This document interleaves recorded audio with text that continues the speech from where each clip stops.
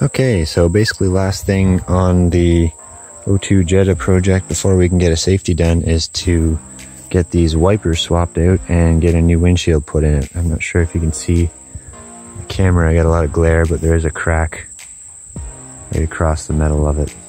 So uh, my wipers broke, obviously I got one pointing upward and the other one in the normal position, it still works, but the linkage underneath is broken, so gonna get the wipers off today and get the plastic cowl removed uh, as I'm gonna take the car to get the windshield replaced tomorrow night after work.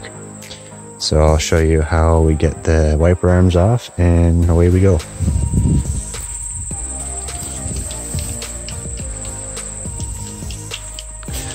So if your wiper arms are proper original and haven't been, you know, messed around with, then there are little plastic caps on both arms cover the fastener that holds the arm on. So because this one is upright, I might have to, oh, and it won't move now. So there is a little notch. Don't know if you can see because we got sun in the way. There's a little notch there. That's where you're supposed to put the screwdriver in. Of course, I can't do that with the cowl here, so I'll try it, but I might have to go in from the side don't want to pry too much on this cowl. It won't take much. It's only plastic. Oh, there it goes. There's one. And the other one here. Like that. So keep those, set them aside. You don't want to lose them.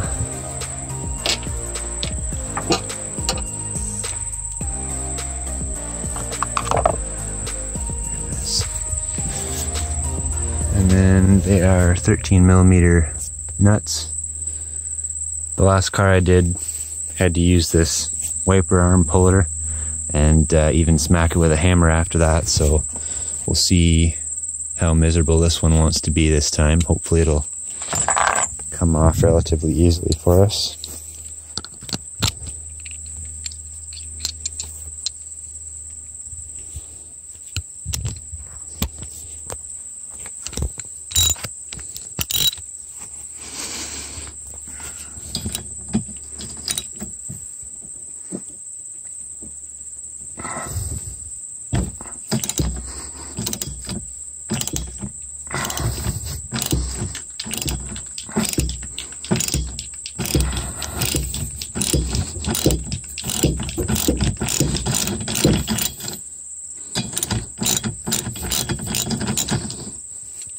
Usually a good practice to leave the nut kind of flush on the end of the shaft if you're going to have to use a puller, but because there's very little thread to work with on this one in the first place, you can't really do that.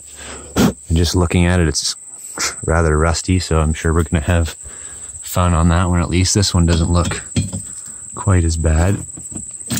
And it undid a little easier, so we'll see. I haven't decided whether I'm going to just swap these arms altogether. Someone got blue overspray all over them, so they don't look very good. So that one's got some rust too, but we'll try the puller here and see how things go.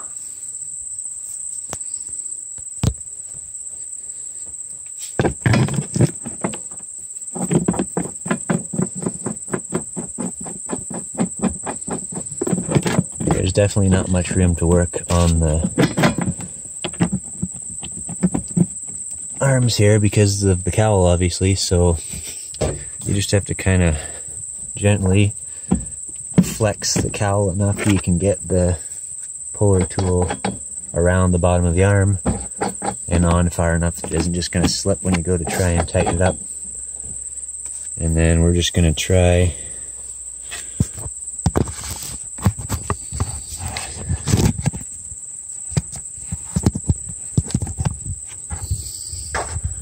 just going to try a little bit of gentle tightening on this. You're probably going to have to try and hold the puller as well because it's going to try and move all over the place when you start to tighten it. Mine's already walking off the side, of course. Not a very good design, but work with what you got.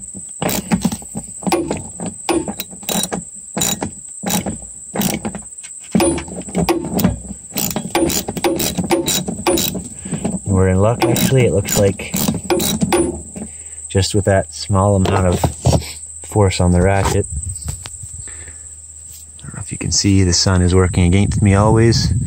There's a little bit of uh, rust powder that's accumulated there and the wiper's a little crooked, so I think we've accomplished what we're after here. So get that out of there and hopefully the cowl is still intact. It looks like it's okay. This one's in good shape except for a little bit on the edge, which is fairly normal. I'm gonna tip this up so it's not fighting me. And then you can lift it off just like that. And the most important part about reassembly, which I'll touch on when we get to that, is the spline inside here and the spline inside there need to be absolutely clean. The last car I had the windshield done, I got the glass place to reassemble the cowl and the arms. And then when it came to wintertime, one of the wipers happened to be a little bit stuck and uh, I hit the wiper to clear the windshield and it the driver's side one stayed put and the passenger side one went over top of it. And then I was able to twist the wiper arm on the post. So he put it on in between splines and tightened it up and screwed the whole thing up. So when you're putting it back together, always make sure the splines are clean. Put a little bit of anti-seize or, or other lubricant on them and always put them together all the way bottomed by hand and then put the nut on. Don't use the nut to pull it on. So that's one wiper done. And try exactly the same thing on the passenger side one here, which is a lot harder to reach, of course, but the puller fits on it a little better. Of course, I say that, but we're not actually anywhere close to the center of the the stud with the puller, so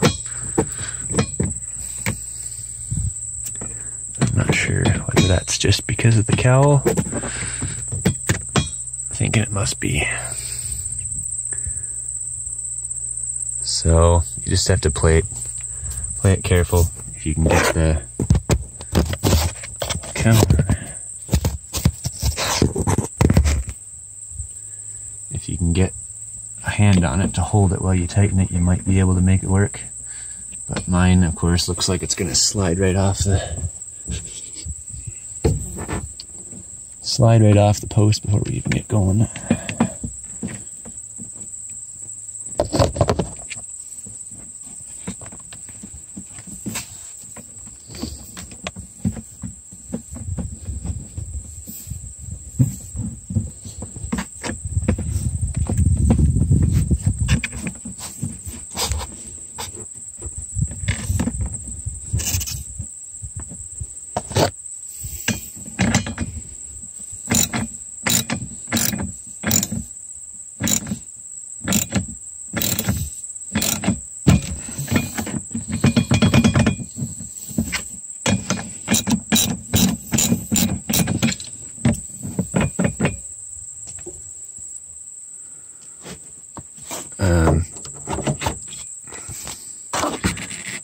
Hard part with this one being that the wiper isn't up is you can't tip it up to remove the arm from the pin and of course it's spring loaded so you just have to be careful you don't hurt the spline like that.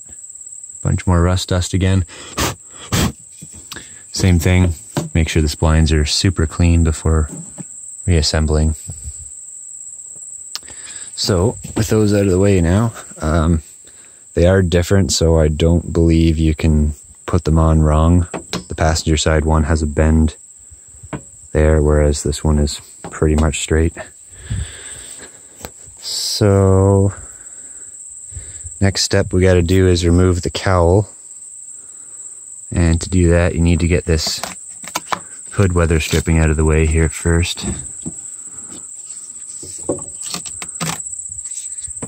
Really gently, it comes off easy. Set it aside.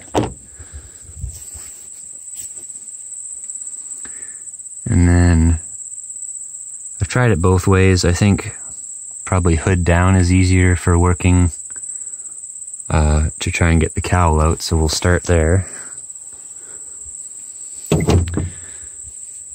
And what I usually do is um, a little pry bar.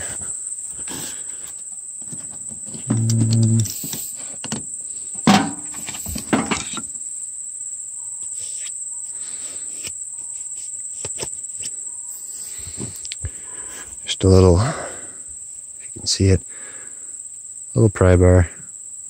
Now you're gonna say, well, a pry bar is gonna damage the plastic really quickly, and yes, you're correct. So in doing this, you are gonna do a very small amount of of prying, and then you move a little bit down in a very small amount, and you move down.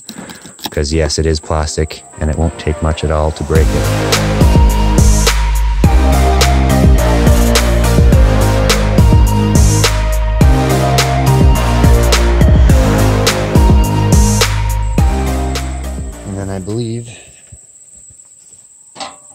Way you can physically get it out is to, so that's the cowl pretty much all released now.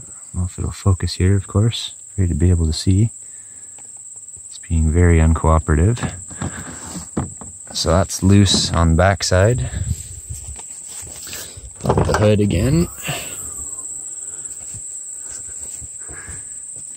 And then with a little bit of gentle persuasion, because the corners are hooked in. Corners are hooked in here, basically under the fender a little bit. So a little bit of gentle persuasion and fighting with the uh, the uh, wiper post might be a little challenging. So once you get it up over there and out of here, then it should be as easy as, and I don't remember if you need to take the cabin air cartridge out of here or not, but I'm going to try without at the moment.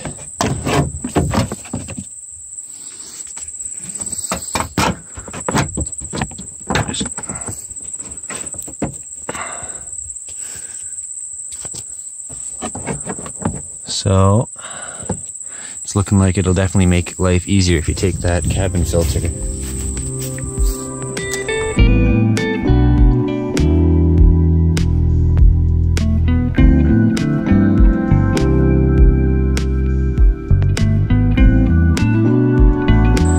with that out of the way, it should be very easy to slide that up. I'm going to bring the hood down here.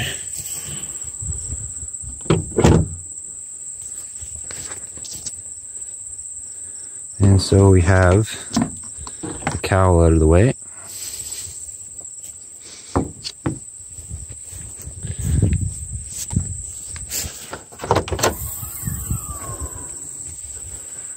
And so obviously some tree debris. It looks like we have a freaking mouse making a nest in here too, and it definitely needs a new cabin filter.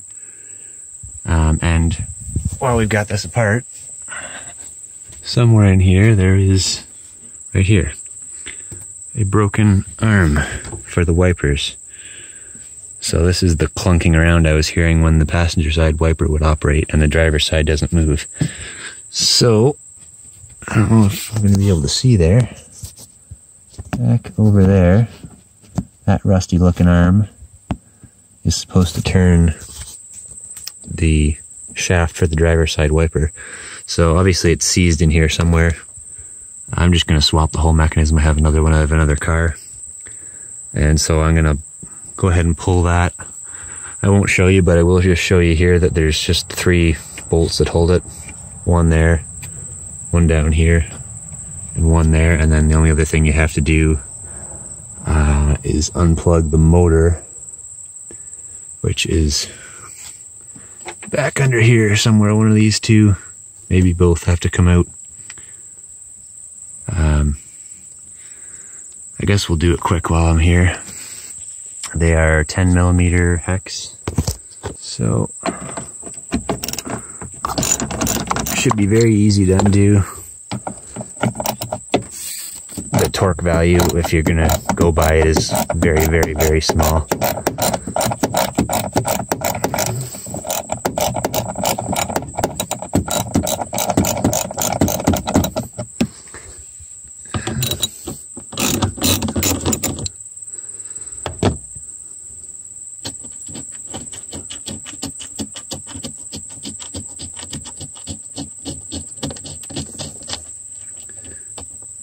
So it should just be bolt with a washer for each.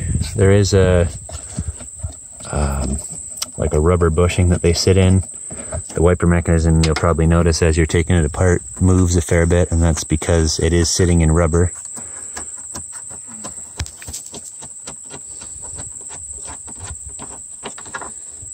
Like that. So you should have three. And then, without further ado, the mechanism should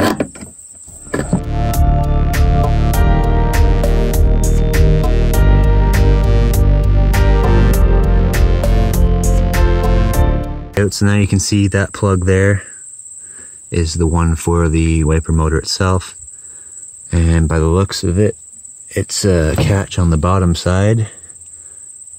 It's not going to focus on it for me, of course, but the down on this side, there's one of those ones you pull back on the top and it releases the catch and you can slide the plug off. So I'm going to do that. Like that. Plug is off. And then a little more wiggling You can pull the whole wiper mechanism with our rusty arm here out of the car. So that's how I'm going to leave it to do the windshield to get them to replace it. Um, like I said, I had a bad experience with them putting the window in and reassembling the wipers last time. So I'm not going to have them do it this time. The weather forecast is supposed to be good, so I'm just going to take this over to the compressed air, blow out all the debris, and we're pretty much ready for the windshield then. The weather's supposed to be good, so I won't bother with the cowl. Um, if you are leaving the cowl out for an extended period of time and there is going to be weather, water will go right in that cabin air filter and right into your floor. So if you're going to be leaving it out, either set the cowl back over or figure out how to tarp the car in some way.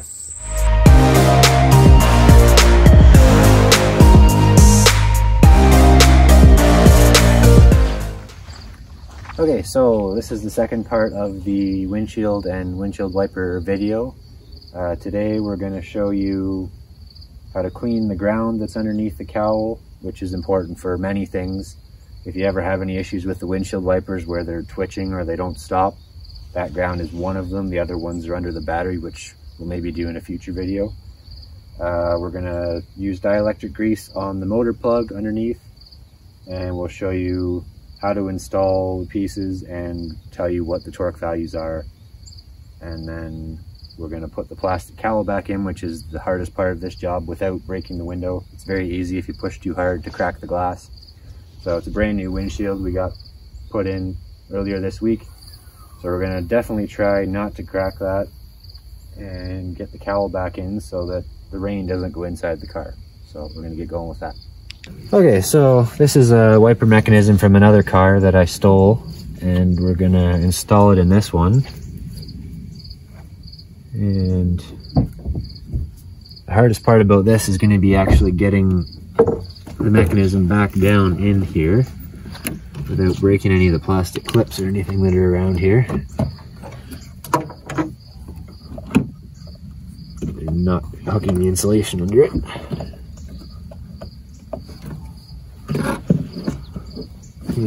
The plug for the motor, I think we're going to have to do first because you won't be able to get a hold of it afterwards.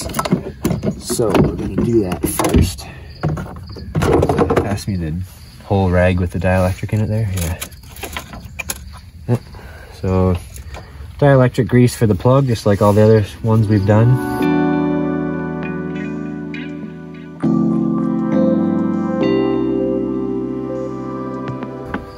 So I'm going to put this on before we put the mechanism back in here because I don't think you can access it otherwise. So I just put it on and there's a nice satisfying click. Know that it's in all the way. And then now we can tuck this back in here again. Hopefully.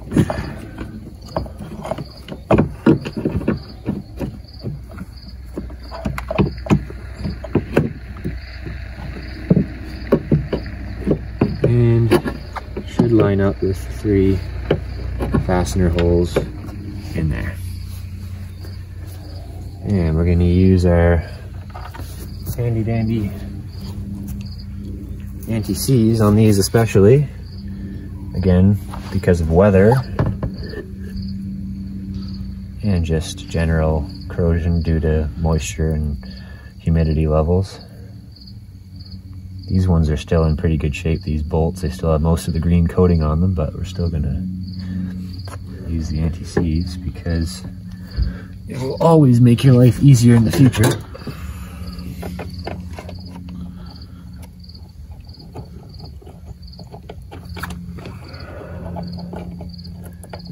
That is provided I can get the bolt started. And again, just like everything else, only do, the other, give me the other ones? The other bolts. Okay. Um, put them all in loosely first. Don't tighten up anything until you have them all in place.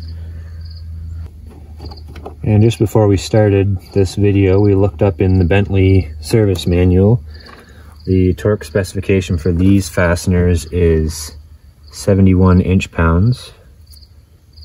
And you can convert that to foot pounds if you want, but it'll be relatively small and chances of finding a foot pound torque wrench that'll go small enough and be accurate is very slim. I'm gonna use an inch pound torque wrench, which goes from like 25 to 150 inch pounds, I think. So it's basically right in the middle of the range, which is what you want to aim for most of the time. 10 millimeter for these bolts. To. And so to start with, I'm just gonna bring them all up to the same tension. I just got the torque wrench on the lowest setting to start with.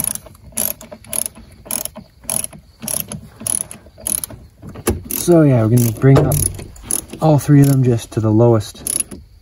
I Just got it set to the lowest setting on the torque wrench right now, just to try and balance them, and then we're gonna step our way up to get to the 71. Probably just do it in two steps, 50 and then 71 since this is uh, 25 we're starting at. And we're gonna go up to 55 minus 5. And in this case, I'm going to start in the middle.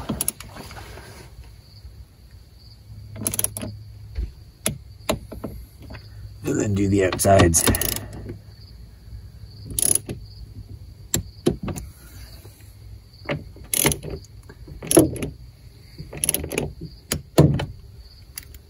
And then the last step up to 71.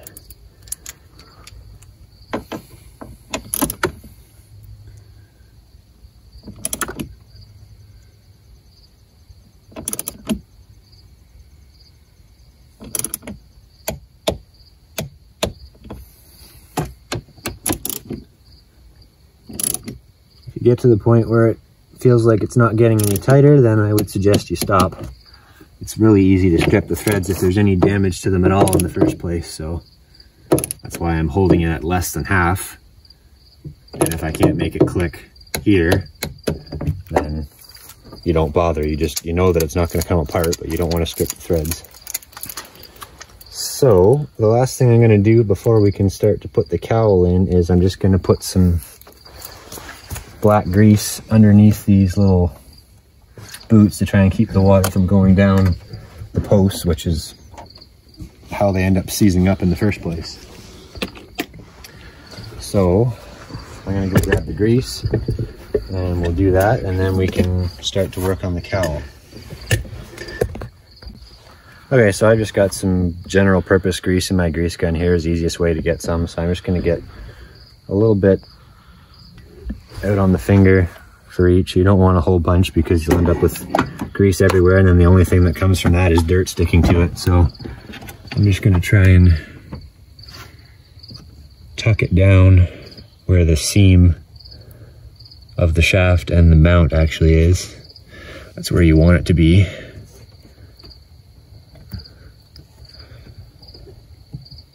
Hopefully to keep the water out of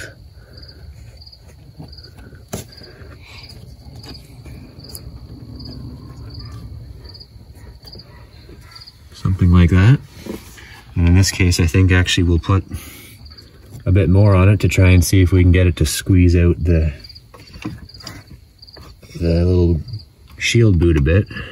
So try a little more here and see if we can get that effect without having it everywhere because I want to put anti-seize on the spline and the threads, not grease. Try that. So yeah, got a little bit of a squeeze out effect happening there, which is what we want. So I'll do the same on the other side now.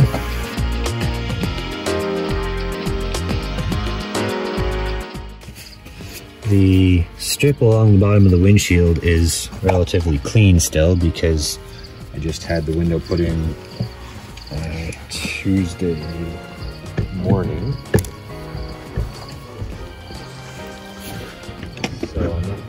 Anything with it. It's got a little bit of water in it because of course it rained while we were getting set up to go here.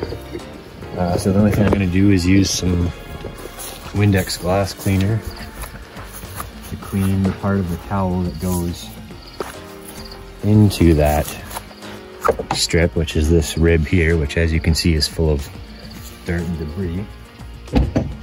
When I took the car apart, the cowl wasn't even really snapped in all the way across. It was kind of just sitting there for the most part. So if it's like that, obviously you're not keeping the water out. And this is the cabin filter and that goes right down into the floor. So if you don't have anything shielding that, you'll be water right in your floor and then you're rotting the car away for fun. So I'm just gonna do a bit of glass cleaner here to start and start by just pinching on the plastic rib here. That's the most important part. It has to pop into that bottom window seam. You can see the dirt on that.